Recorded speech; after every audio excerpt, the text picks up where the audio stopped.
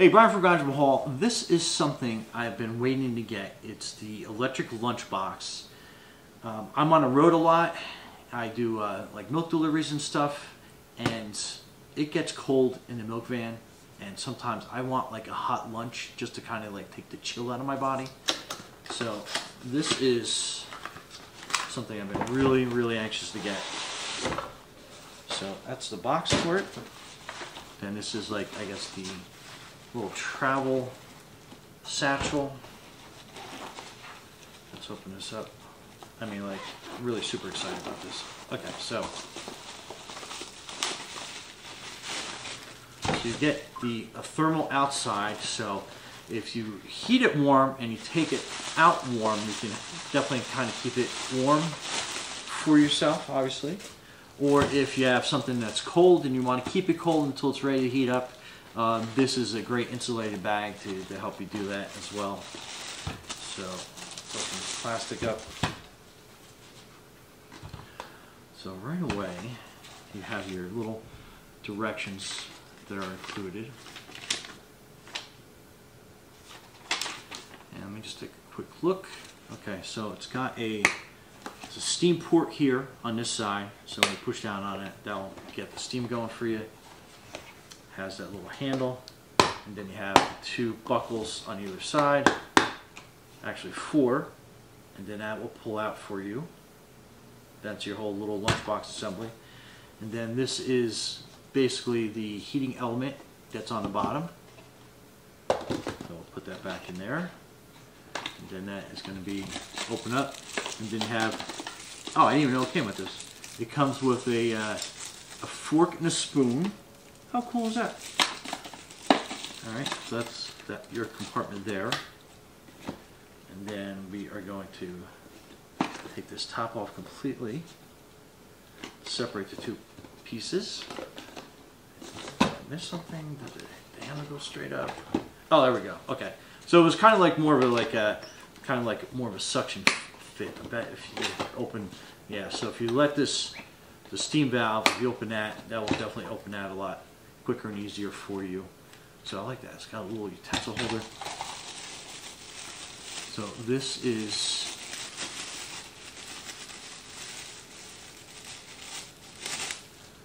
So you get your power adapter for your uh, your work truck or your car, however you're traveling.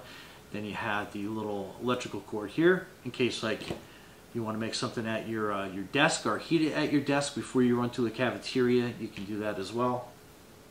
So we're going to use this little electric piece right here. And then that is your electrical compartment.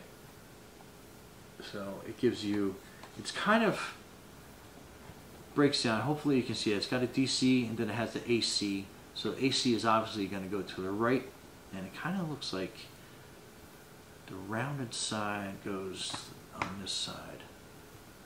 Okay, so that goes in and then it shows you have a, the lamp here so it's already heating. To kind of give you an idea. And then that is your your tray that will sit down on that. And then we're just going to put the lid on here real quick and we'll do a temperature reading here in a second and we'll see exactly how uh, how warm it's getting.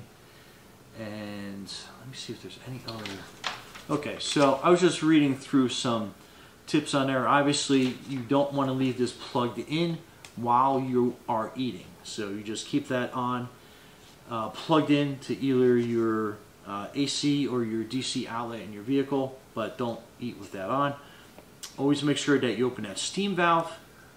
Um, you can keep these locked down, so you really keep the heat like concentrated in this area, but make sure you have that steam valve open.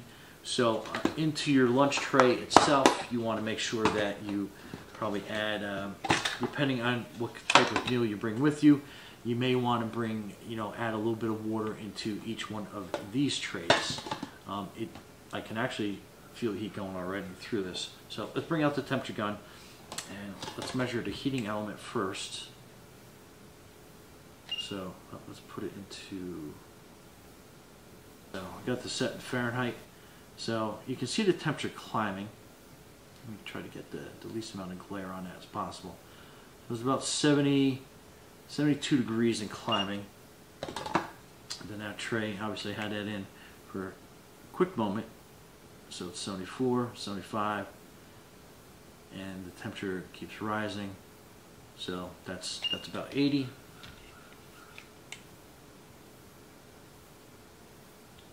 So let's heat, let that heat up for a little bit while longer, and then we will uh, we will come back and I'll show you exactly what the temperature is. All right, so we are about another two minutes into this, and it's about 88, going 89, 90 degrees. So the temperature keeps going up. So let's uh, let's check it. Uh, we'll check it after about five minutes. So stay tuned. Okay, so we're back. So it's been about 10 minutes. So we're gonna see. I mean, you can feel the heat coming out of this already, and temperature reading wise, it's about it's about 140, 138. The tray is like kind of jumping around, but obviously it seems like a lot of the heat is concentrated here in the middle, and it looks like it is like 134 and it kind of like bounces back and forth. Hopefully you can kind of like see that. Let me see if I can't get that better angle for everybody here at home. So depending on what part of the tray you are at, it looks like it's about 136 on average. 130, 120s, 128. So right there in the middle seems like we're going to get the most stable temperature in the 130s. But yeah, you can definitely feel the heat coming out of this. So if you had some food in there, it depends on the quantity of food you have as well. Uh, the more food that you have, the longer it's probably going to take to, to reheat. Obviously, your rule of thumb. But uh, this is a great, great thing I'm looking forward to using on the road. One with that adapter, uh, with the power adapter here, I can plug it into like my, my truck's power outlets, get a nice warm meal on the road. And uh, sometimes like I just want to reheat something and I don't want to microwave it. This is also a great alternative to have at your uh, at your desk if you don't go into the cafeteria, or you can actually bring this into the cafeteria and heat. But I would probably let this warm up for probably um, 10 or 15 minutes just to kind of bring this to temperature. And then depending on how warm or hot you want your food, uh, it may vary. I think I was reading somewhere that it's probably heating times is like 30 to 40 minutes. So just kind of give yourself a heads up on that. Um, other than that, yeah, Brian from Garage Mahal, love this thing already. Uh, be safe out there.